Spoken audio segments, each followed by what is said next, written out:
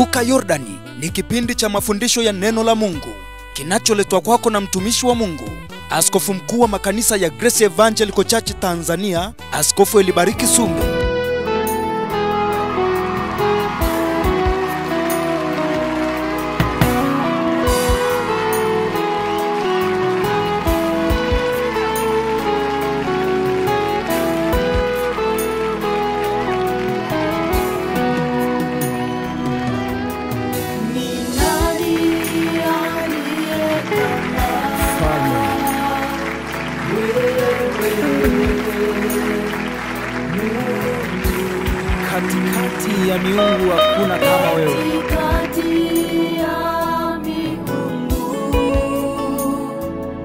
Hakuna kama wewe. Ukaacha enzi yako kwa ajili yangu.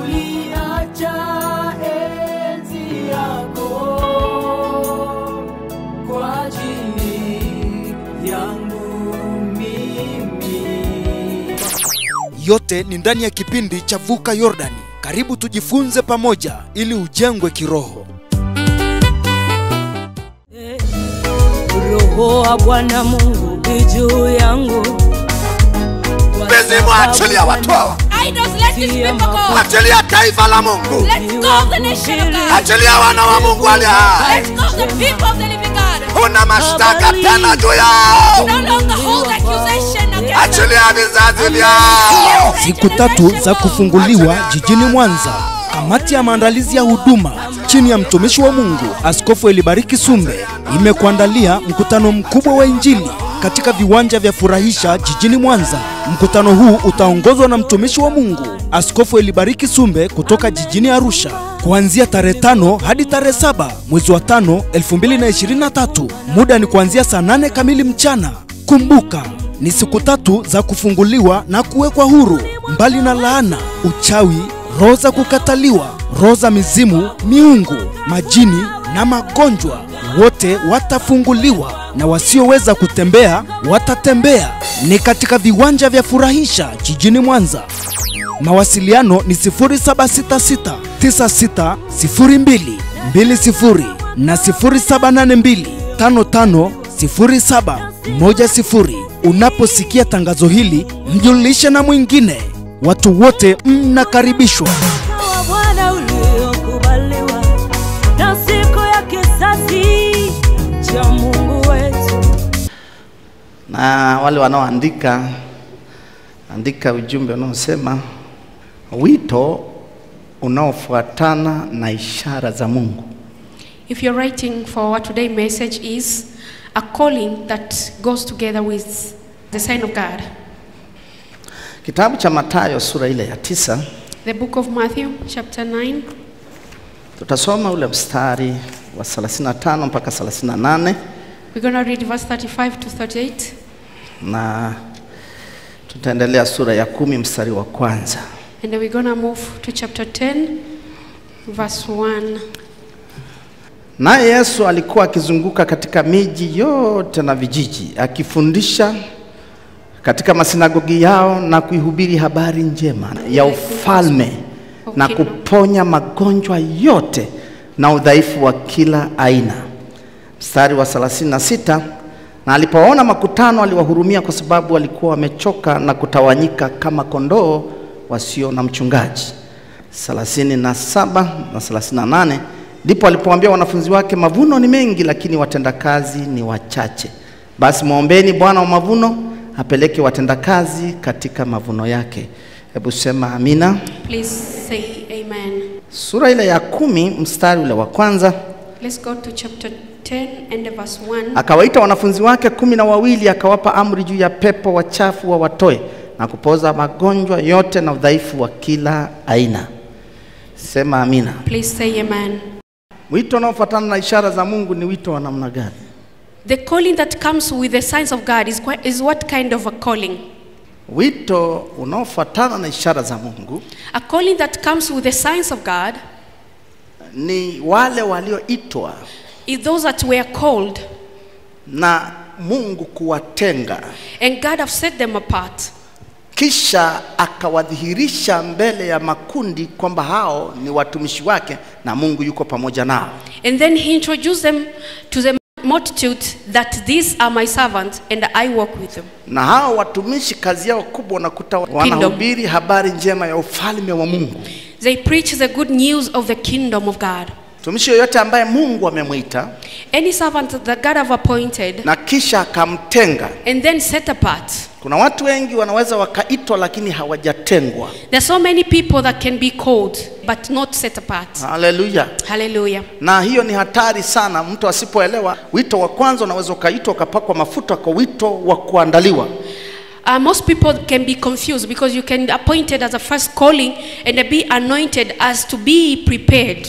Na ukakaa kanisani ukiwa unajua kabisa kuna kitu kinaendelea cha wito ndani yako, lakini usipoandaliwa mpaka uje utengwe na Mungu, watu wanapoondoka wakiwa wana ndani ya wito, matokeo yake wanaenda kuharibu mwili wa Kristo, hawafikii kwenye hatima ambayo Mungu alianza kuwaitia.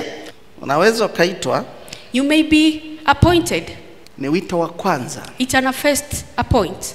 lakini kwa kusudi la Mungu lazima mtu huyo aandaliwe, kisha aje atengwe. But for the purpose of God, that person must be prepared and afterwards to be set apart. Paulo mtume Paul the prophet, ni mfano wetu. it's our example. Daudi mfalme King David ni mfano wetu. is our example. Daudi aliitwa na Mungu.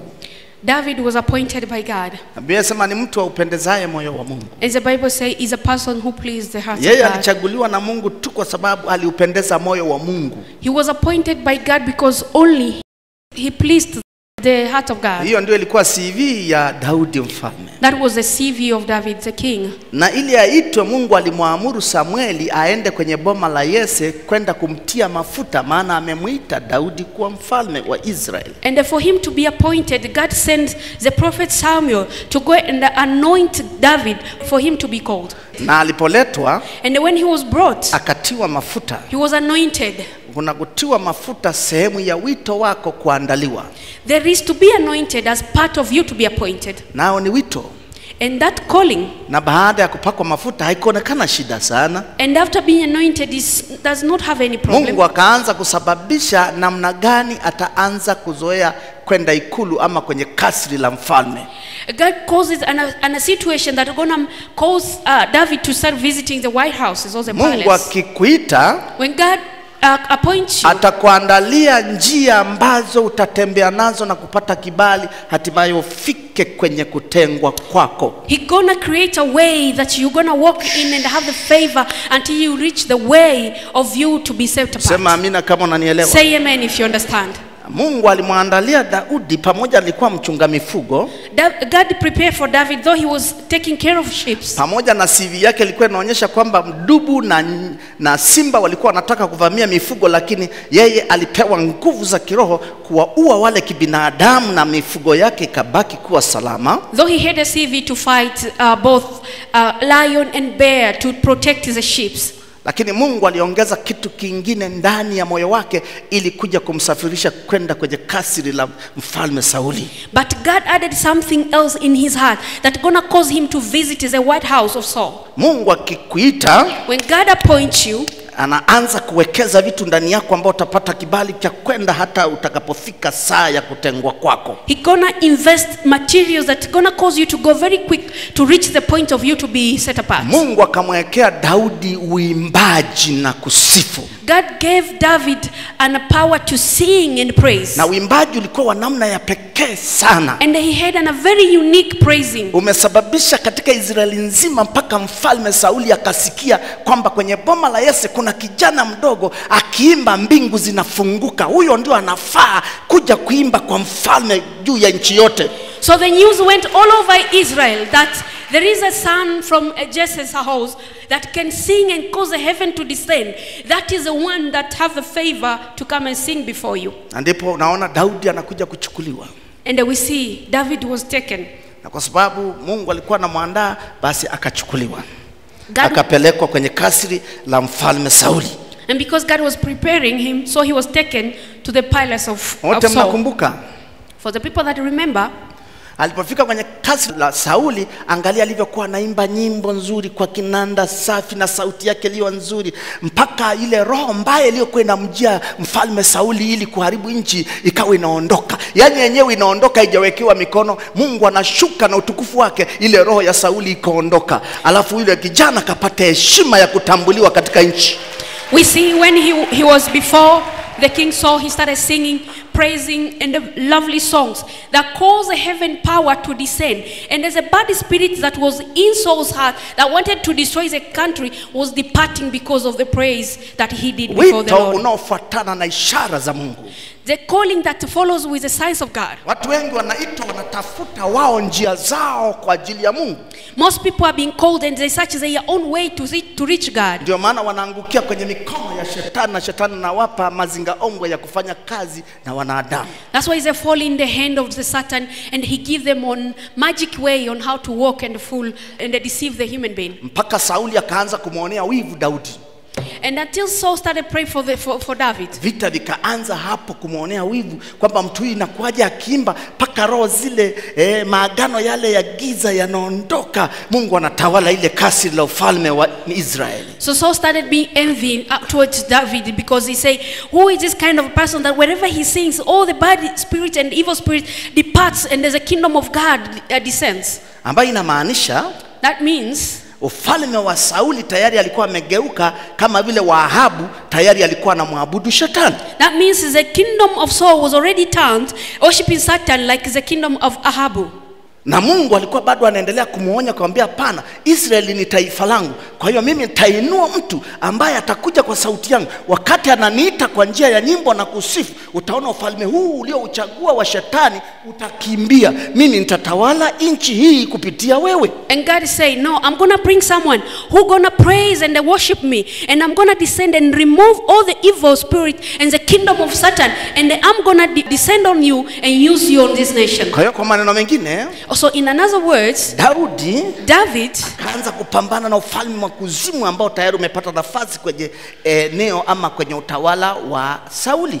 he started fighting against the evil kingdom that already had an opportunity in the heart of Saul. Nina habari njema I have a good news juu ya taifa letu. about our nation. Mungu anakwenda kuinua vipawa God is going to arise up talents ambavyo vitakapokuwa vinainuliwa juu, as how they're going to be elevated up. wala watu watakuwa wanaandaliwa katika wito Those people will be prepared in the calling kwenda kutengwa. to go and be set apart. Haijalishi atakuwa na umri kama wa Daudi, It doesn't matter if you're going to have a talent like atakuwa na umri mkubwa, maana. Mungu anachagua mtumishi wake yeyote amtakaye. because God choose any servant that He Lakini mahali popote atakapoimba, hata kama hajaenda kwenye ikulu la Tanzania, But anyway, the person will sing even if it's not in the White House, madam yuko Tanzania, as long as in Tanzania watakuwa wanaimba na wanapoimba utukufu wa Mungu utashuka, kila ufalme wa shetani utaondoka katika nchi. As they're gonna start singing and singing, the kingdom of God gonna descend and as a kingdom of the enemy gonna depart. Tunakwenda majira mengine We are going in another ambao season Mungu anakwenda kufanya kazi kwa namna ya pekee that sana, God is going to walk in a different way, sawa katika taifa letu. especially for our nation. Watu watakaa salama, viongozi watakaa salama, serikali itakwenda kama Mungu anavyotaka, si kama wao wanavyotaka.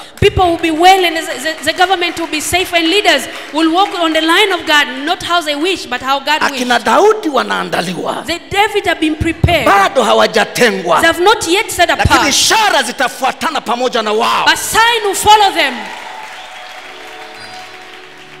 Kuitwa sio kutengwa, But see, a calling is not a set apart. kuitwa ni kuandaliwa To be called is to be prepared. na Mungu kukupandia vitu vyake ndani yako. And God to plan his things in you. Lakini unapokwenda ukimpendeza, ukamaliza vile vipimo vyako, shule yako, chuo chako, ndipo Mungu sao sio zani anakutokea kwenye ulimwengu wa roho, kwenye kiti chake cha enzi, anakupaka mafuta rasmi ya kukutenga na kuthibitisha hayo. And to prove all of that, Sura ya kumi na tatu ya Matendo ya Mitume mstari wa kwanza, chapter 13 in, in the book of Acts and verse 1, Biblia nasema the Bible says, na huko Antiokia katika kanisa lililokuwako palikuwako na manabii na waalimu, nao ni Barnaba na Simeoni aitwaye Nigeri na Lukio Mkreene na Manaeni aliyekuwa ndugu wa kunyonya wa mfalme Herode na Sauli. Basi unamwona na Sauli yuko hapo eh? you see even Saul is included. hao walipokuwa wakimfanyia Bwana ibada na kufunga, Roho Mtakatifu akasema, nitengeni Barnaba na Sauli kwa kazi ile niliyowaitia. Say, set me apart, Barnaba and Saul, for the work that I've called them. Hawaanzi kwa kutengwa, wanaanza kwa kuandaliwa, kuitwa. They are not start by being set apart, they start by being called. Walishaitwa nyuma, They've already been called before, lakini walikuwa kwenye maandalio. but they were being prepared. na baada kufaulu mitihani yao na vyo vyao vya kiroho But after passing their test and challenges spiritually, ndipo mungu anawatenga rasmi katikati ya makundi ya watu is then God set them apart in the middle of na, uh, the na kutoka hapo kitengwa And from there, once you've been set apart, ishara zitafuatana na hao watumishi sign must follow these servants. Very, mahali very popote important. mungu amekuweka kwenye madhabahu Anywhere God put you to the altar, na ukajua yule mtumishi wa mungu bila kujali cheo chake ni mwalimu ni mchungaji ni nabii ni mwinjilisi ni mtume vyovyote ambaye mungu amempa huduma ya kulea roho za watu ni vizuri kumwombea maana ukifanya udhaifu akiharibika na we kizazi chako hicho kitaharibika mpaka cha nne to any altar that God will put you, it's better you pray for that servant, regardless of his position, a teacher, a pastor, or anything. Pray because if you don't pray for him, if he can be destroyed, you'll be destroyed. Not only you, but the fourth generation of yours. unamkumbuka kuhani eli kwenye biblia You remember uh, the priest Eli.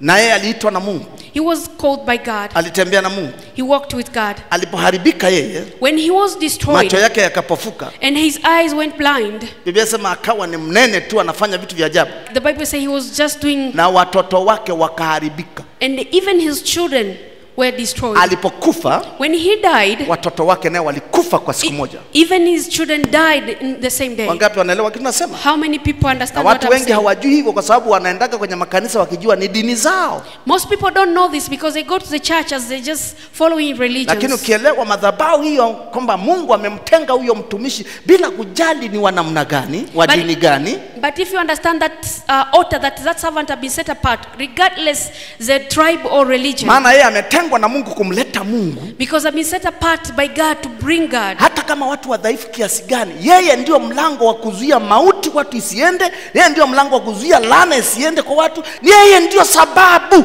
Because that servant will be the reason, the interest, either to pass death or healing, or who be the reason or everything unapojiunganisha na hiyo madhabahu As you connect yourself to that na ukawa mwaminifu kuiombea na hiyo madhabahu imesimama vizuri. you be faithful to pray and the altar is standing firmly. hata kama mnasali kanisa la maelfu ama kanisa la mia moja la watu mia tatu la watu mia nne la watu ishirini la watu watano chini ya mti vyovyote maada madhabahu hiyo ni nzuri mtakuwa salama na nyie na vizazi vyenu. Roho wa bwana mungu ijuu yangu Mwenyezi ya watu hawa, go. taifa la Mungu, Let's go the nation of God. achilia wana wa Mungu wale hai. Let's go the people of the living God. Huna mashtaka tena juu yao, No longer hold accusation against them. achilia vizazi vyao. Siku tatu za kufunguliwa jijini Mwanza. Kamati ya maandalizi ya huduma chini ya mtumishi wa Mungu Askofu Elibariki Sumbe imekuandalia mkutano mkubwa wa Injili katika viwanja vya Furahisha jijini Mwanza. Mkutano huu utaongozwa na mtumishi wa Mungu Askofu Elibariki Sumbe kutoka jijini Arusha kuanzia tarehe tano hadi tarehe saba mwezi wa tano 2023. Muda ni kuanzia saa nane kamili mchana. Kumbuka ni siku tatu za kufunguliwa na kuwekwa huru, mbali na laana, uchawi, roho za kukataliwa, roho za mizimu, miungu, majini na magonjwa. Wote watafunguliwa na wasioweza kutembea watatembea. Ni katika viwanja vya Furahisha jijini Mwanza. Mawasiliano ni 0766 9602 20 na 0782 55 0710. Unaposikia tangazo hili, mjulishe na mwingine. Watu wote mnakaribishwa.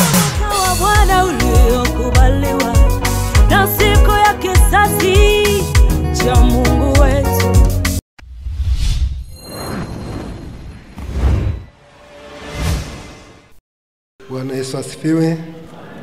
Jina langu naitwa Jimson Mwakaliku na pembeni yangu ni mke wangu anaitwa Happiness Mwakaliku. Naomba nimpishe yeye aongee kwanza, alafu mimi nitaongea pale mwishoni. Karibu. Bwana Yesu asifiwe kanisa. Tunalipenda kanisa la Vuka Yordani. Kwa majina yangu ninaitwa Happiness Jimson Mwakaliku, ni mshirika wa mahali hapa. Tuko mahali hapa kumshukuru Mungu kwa matendo makuu Mungu aliyotutendea toka tulipofika kwenye madhabahu hii. Tulikuja kwenye madhabahu hii mwaka elfu mbili na kumi na nne mwezi wa sita tukiwa na hali mbaya sana, hali ya kiuchumi na hata hali ya kupigwa sana na kushushwa sana. Tulikuwa tunamtumikia Mungu na tulikuwa tunafanya huduma, nilikuwa na huduma ya kuombea watu kama Mungu alivyoniita, na nilikuwa nalelewa kwenye madhabahu zingine, lakini toka nilipokuja kwenye madhabahu ya Bishop Sumbe ndipo nilipoanza kuiona njia yangu iliyokuwa imefungwa sana, na tulifunguliwa vifungo vigumu, vifungo vya laana, vifungo vya mizimu iliyokuwa imetuzuia, vifungo vingi ambavyo vilikuwa vimetukamata, tulifunguliwa sana. Tulikuwa tunakaa kwenye miji ya watu, tulikuwa tumepangisha huko, na wakati mwingine tulikuwa tunashindwa hata kulipa kodi. Tulikuwa tumefika mahali ambapo tunakuwa ni watu wa kudaiwa madeni, hata inafika wakati unasubiri ulipe madeni, unalipa mpaka watu wengine wakawa wanasema hawa watu hawawezi kulipa madeni ya watu. tukawa tunasimangwa, yani mpaka kila mtu akikuona anakudharau bure. Mahali ambapo tulikuwa tunalelewa ikafika mahali mpaka watu wanainuka wanasema mahali hapo ambapo sitaweza kupataja jina, akawa anasema kwamba yani hawa watu hata wakifiwa hawana mahali pa kuzika watoto, hawana mahali pa kwenda, yani hawa ni maskini tupu. Anatenga washirika wale wenye nguvu, anakaa nao, anatusimanga, anafanya vikao, anawaambia msiwape chochote, anasema hawa ni maskini, msiwape kitu chochote. Kwa hiyo na yeye mwenyewe akawa mlango wa kutufungia tukawa sisi tunafanya tu kazi ya Mungu kwa uaminifu, lakini namshukuru Mungu aliyetuleta kwenye madhabahu ya Askofu Elibariki Sumbe. Mungu amempa neema ya kulea vipawa na karama, yaani yeye atakulea hata kama uko chini sana, hatakulea bora usiwe na kiburi cha uzima. Tunamshukuru Mungu aliyetuleta kwenye madhabahu hii ambayo ime, imetutetea tukaja tukapata kiwanja. Mungu akatubariki nyumba nzuri baada ya kufika hapa tulikuwa tunakuja tunakaa tunasikiliza tunafunguliwa na watoto wetu na ndugu zetu na jamaa zetu wamefunguliwa. Tulikuwa ni watu maskini sana. Mungu akafungua pia watoto wetu wakapata ada tukaweza kulipia watoto shule. Kafika wakati baba askofu akawa anafundisha kongamano la, la wamama kanisani. Akatamka baraka kwa wamama baada ya hapo tukiwa pale kwetu kuna kiwanja ambacho kiko nje ya pale tulipo. Wakatokea watu wanasema jamani hiki kiwanja kinauzwa. Huyu mtu anauza hiki kiwanja. Lakini mungu akatupa neema akatufungulia njia tukapata kile kiwanja tena kikawa cha pili. Na kuna wakati baba alisema mtaitiwa viwanja. Kuna watu watakuja wataitiwa viwanja watu wataitua viwanja mtu ata, atakwambia tu chukua tu atalipa kidogo kidogo. Hiyo ikatupata tena sisi kiwanja cha tatu. Tukapata tena kiwanja kingine. Bwana yesu asifiwe sana. Na kingine pia mungu alitusaidia kwenye hii madhabahu ametubariki magari mawili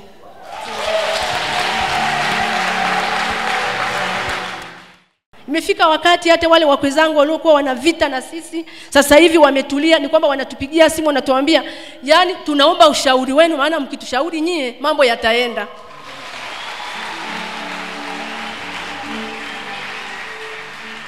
Bwana Yesu asifiwe. Labda nami niongezee kidogo hapo, kwa sababu ameshaongea mengi. Tulikaa kwenye nyumba ya kupangisha kwa muda wa miaka kumi na mitatu. Tumeendelea kukaa pale kama jinsi alivyoeleza mke wangu. Ilifika wakati tukashindwa hata kulipa kodi, mwenye nyumba akawa anatufukuza. Nakumbuka tulikaa muda wa, mi, wa miezi saba hatujalipa kodi. Mwenye nyumba akasema ondokeni, umeme akatukatia. Yaani tulikuwa hatuoni njia yoyote. Yesu atusaidie sana. Lakini baada ya kukanyaga tu vuka Yordan mwaka elfu mbili na kumi na nne Bwana Yesu asifiwe. Kwa hiyo baada ya kukanyaga vuka Yordani mwaka elfu mbili na kumi na nne neno ambalo nilokutana nalo madhabahuni siku ile ilikuwa kwenye Isaya sitini ambayo baba alifundisha. Neno linasema kwamba inuka uangaze, kwa kuwa nuru yako imekujia. Bwana Yesu asifiwe. Nilikutana na amani moja ya pekee sana. Watu tuliokuwa tunashindia tuna, uji wa mtoto, leo hii Mungu ametuinua na sisi tuna nyumba, tuna viwanja, tuna magari. Bwana Yesu asifiwe. Kwa hiyo sitaki sana niongee mengi, tulia kwenye madhabahu, sikiliza kile ambacho mtumishi wa Mungu anachotoa kwa ajili ya madhabahu, kifuati, lazima utatoka. Bwana Yesu asifiwe. Yesu asifiwe sana. Hakika utatoka. Bwana Yesu asifiwe, kwa sababu tumeuona mkono wa Mungu ukituinua kutoka chini kwenda juu. Nakumbuka kuna wakati fulani hata kule Ngaramtoni nilishuhudia, baba akaniambia mwakaliku, nataka tuende Mwanza. Nikamwambia sawa baba. Nakumbuka hiyo safari ilikuwa tunaenda kwa ndege, akafanya process za ndege, tukawa tuko pale airport Kia pale. Kwa wakati tumeshakaguliwa tumeingia ndani ya ndege. Ile ndege wakati inaanza kuondoka, unajua askofu anapoongea na wewe hawezi kuambia Mungu anasema hapana, yeye anaongea kama kuongea, lakini mimi najua ni Mungu anasema ndani yake. Akaniambia ndege itakapokuwa inaanza kuondoka, kuchukua usawa wa kuondoka, nawe utaanza kuinuliwa kwa namna hiyo.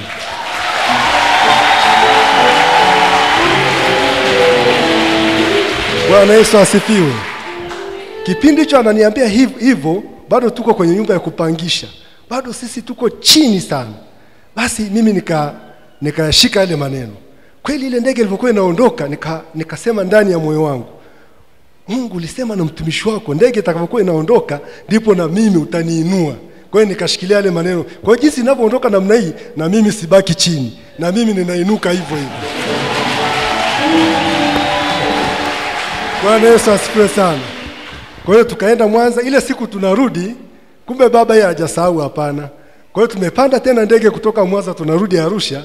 Ndege wakati imechukua usawa wa juu, imetulia, baba akaniuliza, Mwakaliku, unakumbuka wakati tuna tunatoka Kilimanjaro kuja Mwanza nilikuambia nini? Nikamwambia ndio baba, nakumbuka.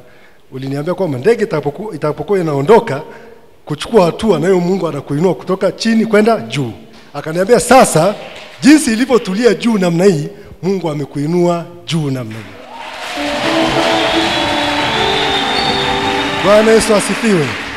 Nimalizie kwa kusema, baada ya muda mfupi tu ndipo tukaona sasa Mungu anaanza kufungua njia zetu, anaanza kufungua ni kwa namna ambayo mimi mwenyewe sikuelewa hata anafunguaje. Kwa kweli Mungu anapoanza kufungua hakuna anayeweza kuzuia. Bwana Yesu asifiwe. Kaa kwenye madhabahu, kaa kwenye madhabahu, sikiliza kile ambacho Mungu anasema, ndiko kutoka kwako. Asante sana baba askofu, asante mama, asante mchungaji Laki, nashukuru sana kanisa kwa ujumla, asanteni sana.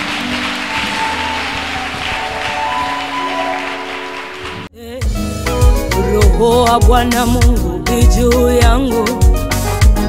Mpenzi, mwachilia watu hawa, Idols, let these people go. achilia taifa la Mungu, Let's go the nation of God. achilia wana wa Mungu wale hai. Let's go the people of the living God. Huna mashtaka tena juu yao, No longer hold accusation against them. achilia vizazi vyao. Siku tatu za kufunguliwa jijini Mwanza.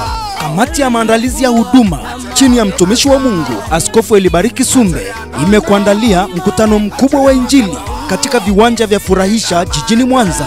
Mkutano huu utaongozwa na mtumishi wa Mungu Askofu Elibariki Sumbe kutoka jijini Arusha kuanzia tarehe tano hadi tarehe saba mwezi wa tano 2023. Muda ni kuanzia saa nane kamili mchana. Kumbuka ni siku tatu za kufunguliwa na kuwekwa huru, mbali na laana, uchawi, roho za kukataliwa, roho za mizimu, miungu, majini na magonjwa. Wote watafunguliwa na wasioweza kutembea watatembea. Ni katika viwanja vya Furahisha jijini Mwanza.